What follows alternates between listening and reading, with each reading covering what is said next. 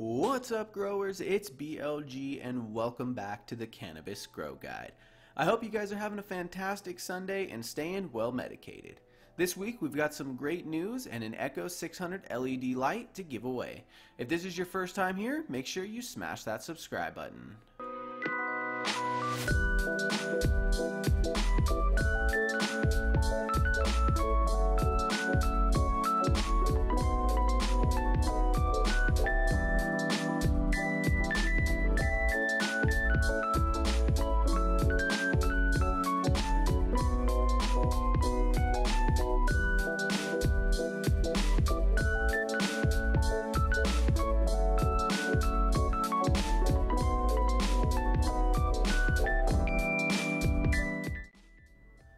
It's day 49 for the DIY Stealth Grow Box, and from this day forward, the girls will be flushing and receiving only plain water and no more nutrients.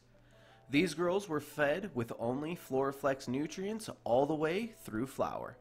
If you guys like the results you're seeing so far and you haven't made the switch to Floraflex, then now is the time.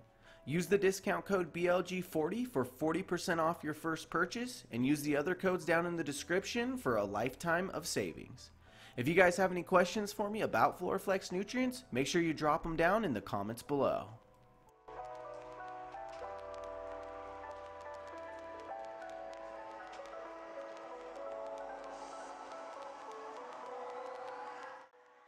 Gorilla Bomb is a cross between Gorilla Glue number 4 and THC Bomb. And this first pheno I have is definitely one for the books. She is a heavy yielder with large nugs that get a lot of their shape and characteristics from the famous Gorilla Glue number 4 cut. She has a chronic pungent smell that will leave you drooling and it's backed up with a slight earthy ammonia that you can't forget.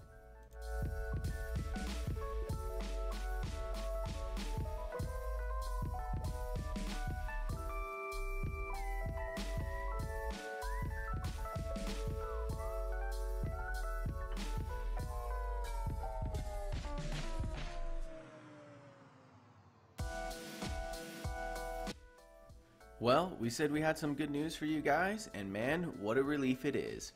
We posted up our pest problem on a couple forums, and I have to give a big thanks to Root Excess for identifying our pest as springtails and not root aphids. This has probably been the biggest sense of relief I've ever had inside the garden.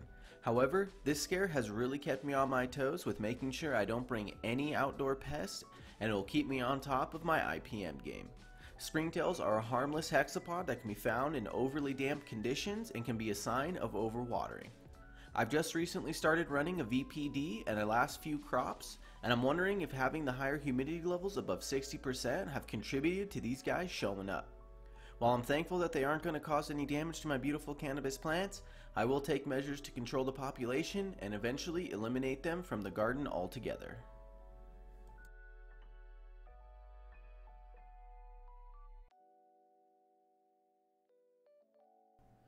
And lastly, inside the grow box is our cut of green crack. I must say the Platinum LED has done an awesome job of stacking our buds and giving us some nice sized colas.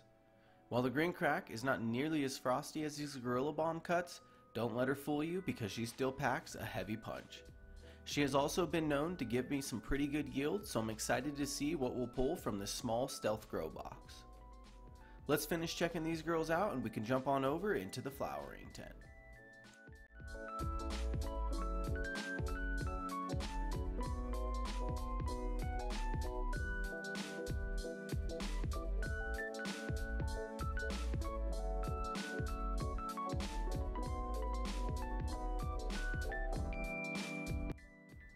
Let's take a look at the Pug's Breath underneath the DIY QB324 fixture. If you guys want to see how to build one of these fixtures yourself, I'll link our build video at the top of the screen now.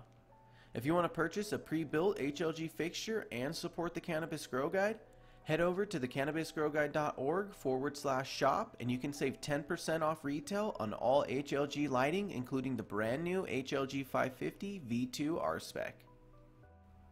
This week I've got a question from Rick, also known as Blue River Farms 286 over on our grow forums and he asks, when should I start recharge?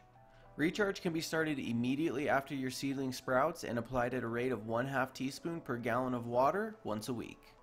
You can continue using recharge all the way through veg and into flower if you don't have a microbial inoculant specifically for flower. However, you'll want to stop using recharge at around 5 or 6 of flower as is really not needed beyond this stage and the continued use is really just a waste. If you're fortunate enough to have some Mammoth P, then I recommend you stop using Recharge after veg and use your Mammoth P for flowering as it is specifically designed to increase the uptake of phosphorus, resulting in larger buds.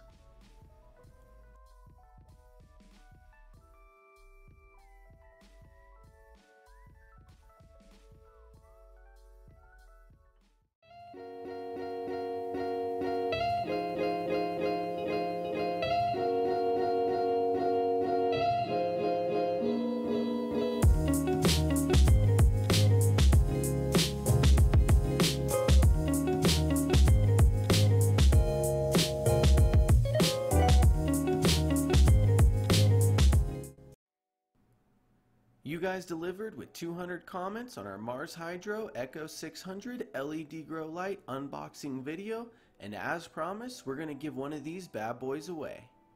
In order to do so, we're going to pick a random subscriber who commented with the hashtag Mars Hydro on that unboxing video. And if you're outside the US, you will be required to pay for shipping, and you will have one week to claim your light before we give it away to someone else. If you guys enjoyed any part of this week's video, please do me a favor and hit that thumbs up. If you want to see more next week, make sure you hit that subscribe button and ring that bell. I hope you guys have a blessed Sunday, stay lifted, and peace.